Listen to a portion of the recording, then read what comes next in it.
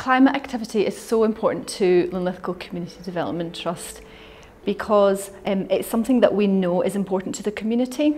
The Trust started exploring how, um, if the Trust owned panels, that that could be a source of generating some revenue to then put the revenue back into community projects and that's how Linlithgow Solar was born.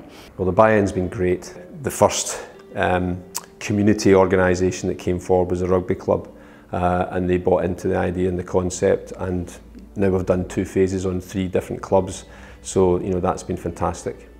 Well, Linlithgow Rugby Club, we see ourselves very much as a community rugby club. So being involved with the Community Development Trust and helping them get going with the first pilot and then the follow-up work was really something that made a lot of sense to us and our members.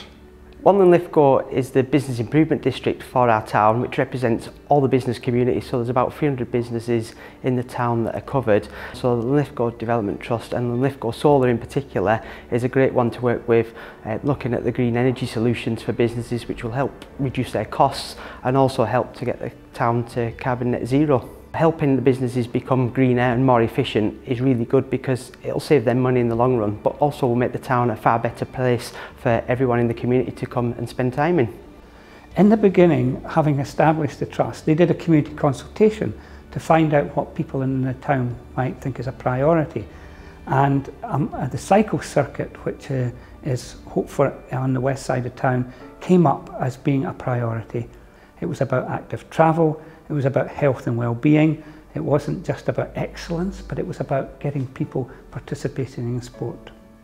We, we, we set out um, to, um, to do a number of community energy things. What we have at the moment is we have a tool library with over 400 tools. We have a system called MyTurn, so it's all computerised. People can book out tools and um, that's been a, a great project and it's continued even during lockdown. We provided people with things like sewing machines that they might have needed to make masks or all sorts of different items, gardening items when people were at home so much. So it's, it's a fantastic initiative. And we also have our electric bikes So we have four electric bikes, including a cargo bike, and again, they're rented out on a weekly basis to the community. What, what we really want to do is, as a community anchor, working with all the different organisations in the town to work together on climate action collectively. So we made it to the World Finals of this year's virtual F1 in Schools project and we started looking at reusable materials, sustainability, um, so we got into contact with the Trust um, and Neil and things like Linlithgow Solar and they helped us set that up and look into things like solar power, which we were really interested in. Uh, so really the Young Energy Enterprise Group provided me and uh, at least you know five to ten people uh, the, the chance to gather experience uh, and to contribute to something that really proved to be worthwhile.